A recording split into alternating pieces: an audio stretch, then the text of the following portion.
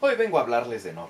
largometraje de animación stop motion sobre una familia de vegetarianos quienes de repente son visitados por el abuelo que los abandonó hace años y quien parece tener intenciones de reconciliarse regalándole a la nieta un cerdito mascota bautizado como Nor, siendo su tortuoso entrenamiento para no ser echado a patadas una mitad de la trama, mientras que la otra mitad recae en los verdaderos motivos del abuelo, a pesar de que la película pudo pero no quiso mantener el suspenso de si su presunto cambio de actitud es genuino o si en el fondo sigue siendo un desgraciado mañoso, y lo que por cierto también aplica para la sinopsis que quizás preferiría no leer asumiendo que tengan interés porque aun si esto es un inconveniente más o menos entendible, pero igualmente notorio tratándose de una película tan corta de apenas unos 70 minutos, también es fácil pasarlo por alto gracias a que no vale la pena por sus simpáticas caracterizaciones, particularmente de su chancho titular, su guion conciso y su propuesta visual. Incluso si estos dos últimos aspectos pudieran resultar algo derivativos y mundanos, su ejecución como tal no es mala, transitando con gracia y consistencia entre el drama y las bufonadas, ya que aun cuando el asunto se pone tenso, grotesco y algo siniestro si uno se sienta a analizarlo a fondo, el tono en general es bastante ligero,